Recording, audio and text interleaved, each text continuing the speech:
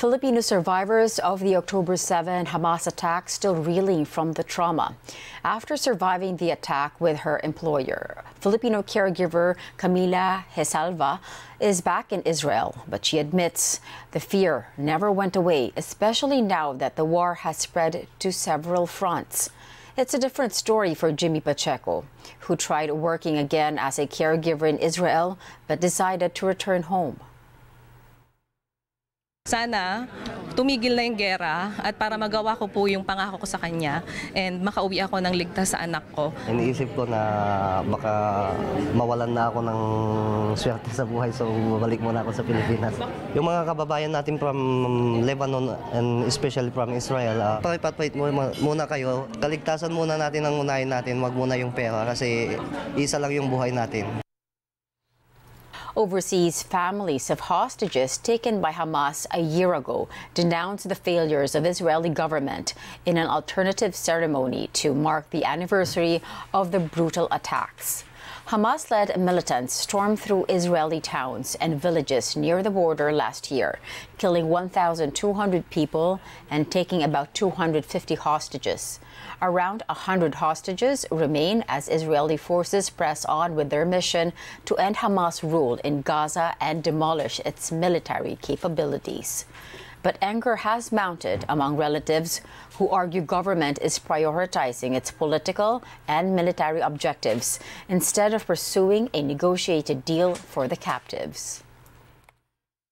It's very, very sad that uh, we are still in a two-front war and there are more than uh, 100 hostages in, in Hamas tunnels. And I think uh, our leadership is a lack of uh, vision and lack of uh, leadership and uh, strategic plan. And it's very, very frustrating uh, for me and for my community. To the Israeli government, I say, look, this is how it's supposed to look. It's not about you. It's not about the government. You failed. It's about the families. We will decide how the future looks because we have paid the most unbelievable price on October 7th and after that and the fact that you failed to get the hostages back, that 27 hostages were murdered in captivity, is just goes to show you how big of a failure it is. A bipartisan delegation of United States senators meets with Israeli Prime Minister Benjamin Netanyahu on the anniversary of the Hamas attack on southern Israel. They are expressing Washington's continued support for Israel and its right to defend itself. Netanyahu, meanwhile, thanks the U.S. for what he called stellar support throughout the war. Mr. Prime Minister, we're honored to be with you, and we appreciate your giving us this opportunity to speak with you on this really agonizingly difficult day for your country and the people of Israel and all of us in the United States who feel so deeply that it was an absolutely abhorrent, inhumane attack on the Jewish people. It was the worst attack on the Jewish people since the Holocaust, but uh, unlike the Holocaust, we fight back. And we're uh, uh, fighting like lions with uh, the support of the American government, the American people, and its representatives who are so well represented here. I want to thank you both for your stellar support for Israel throughout the war. U.S. President Joe Biden remembers the victims of last year's Hamas attack with a candle lighting ceremony at the White House. Biden was joined by the First Lady and a Washington area rabbi who recited a Jewish prayer for the dead. The three also observed a moment of silence. Earlier, Biden condemned the unspeakable brutality of the October 7 attack and said he remained committed to Israel's right to defend itself a year on. Vice President and Democratic presidential candidate Kamala Harris also commemorating the anniversary. While remembering the victims of the attack, Harris also emphasized the importance of relieving the suffering of innocent Palestinians. Today, I know many Jews will be reciting and reflecting on the Jewish prayer for mourning, the Kaddish. The words of the prayer are not about death. It is a prayer about our enduring belief in God, even in our darkest moments. So, as we reflect on the horrors of October 7, let us please be reminded that we cannot lose faith. What is asked of us? We must uphold the commitment to repair the world, an idea that has been passed on throughout generations of the Jewish people and across many faiths. And to that end, we must work to relieve the immense suffering of innocent Palestinians in Gaza who have experienced so much pain and loss over the year. What is asked of us? We must continue to see light amidst the darkness. Over the UK, British Prime Minister Keir Starmer used the occasion to call on the region to step back from the brink of a wider war. The region cannot endure another year of this. Civilians on all sides have suffered too much. All sides must now step back from the brink and find the courage of restraint. There is no military solution to these challenges. Now let's find out what stories our North America Bureau is pursuing right now from our Bureau Chief, TJ Manotok. Good morning to our friends at the Rundown. Here are the top stories making the headlines in the North American region. We begin in Daly City, California, where a Filipino was allegedly gunned down execution style outside his own home. 60-year-old Rolando Yanga worked as a gym custodian at Fitness 19 in Daly City. According to the San Mateo County's district attorney, Yanga confronted the suspect, 21-year-old Marij Afridi, a gym member, over repeatedly violating gym etiquette. On Sunday night, as Yanga left the gym in his pickup truck to drive to South Mayfair Avenue where he lives, authorities say he was followed by the suspect who was in a car being driven by his mother. Surveillance video obtained by KTVU shows the victim driving past, quickly followed by a second car. Moments later, gunshots can be heard.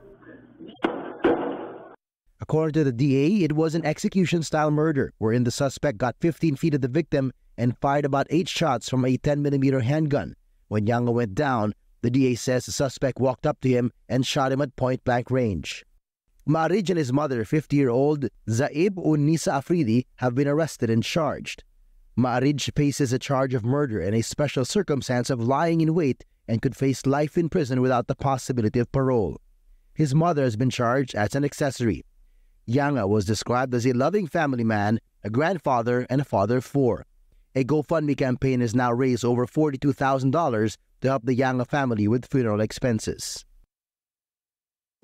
In other news, Floridians are still recovering from Hurricane Helene, but another storm coming their way could bring even more destruction. Residents of Dade City and Melbourne, Florida, in the southwest of the United States, were busy filling sandbags on Monday in preparation for Hurricane Milton, which is rapidly intensifying into a Category 5 hurricane. It was located 734 miles southwest of Tampa with maximum sustained winds of 160 miles per hour. Florida is preparing for its largest evacuation since 2017 as Hurricane Milton intensified in the Gulf of Mexico Monday on its path towards the U.S. state's western coast, coming on the heels of the devastating Hurricane Helene. Florida Governor Ron DeSantis said additional resources have been allocated to remove debris from Hurricane Helene that pose an additional danger now that Hurricane Milton moves near the western Florida coast. It is expected to make landfall on the west coast of Florida uh, sometime between Wednesday evening or perhaps even very early on Thursday. We had a lot of debris left from Hurricane Helene on Florida's Gulf Coast. Uh, that creates a huge hazard uh, if you have a major hurricane hit in that area uh, this week. So we've marshaled state assets to be able to help with that mission, and uh, we're going to continue to do that until it's uh, safe uh, until it's no longer safe to do so. DeSantis warned of a potentially higher storm surge and more power outages from Milton compared to Helene and said destruction from Helene could be compounded. And finally, the aftermath of Hurricane Helene, search and rescue efforts are still underway, especially in the Asheville area of North Carolina, where dozens are still missing. As of this weekend, Hurricane Helene has claimed the lives of more than 230 people across six states, and the death toll could still rise with more than 70 people still missing in Asheville, North Carolina alone. Although a week has passed since Helene made impact, more than 300,000 people remain without power in Georgia and the Carolinas. The Biden administration has sent an additional 600 troops to western North Carolina to aid in ongoing recovery efforts. This on top of the 1,000 troops already deployed last week. There are also over 6,100 National Guard and more than 7,000 federal personnel assisting on the ground. And those are the top stories making the headlines in the North American region. You can catch more of our TFC News on the ABS-CBN News website and YouTube channel. I'm TJ Manotok. Back to our friends at the Rundown. The 2024 Nobel Peace Nobel Prize rather in medicine goes to two scientists, Victor Ambros and Gary Ruvkun, who for their groundbreaking discovery of microRNAs. But what exactly are microRNAs? Well, they are tiny pieces of genetic material that alter how genes work at the cellular level. They are seen as potentially leading to new ways of treating cancer. There's about 500,000 molecular biologists in the world now, and there's only 20,000 genes approximately, and that's spread out over every organism. So the chances that somebody has worked on a gene you bump into is quite high. And but they don't know that you're working on it, and you don't know they're working on it. And so there's plenty of chances for surprises. And the surprises are what keep you young in science and so I am constantly surprised, and and my um, ignorance is bliss. Oh, I was astonished and you know surprised, um, um, delighted, uh, everything you might expect. Um, you know, I, I, honestly, it was this was not something that I expected, to be quite honest, and so. Um, because in my opinion, the the Nobel Prize to Mello and Fire encompassed all these phenomena that that we studied. So that was my uh, my sense, you know, um, and and I was comfortable with that. So as you can imagine, I was astonished by this.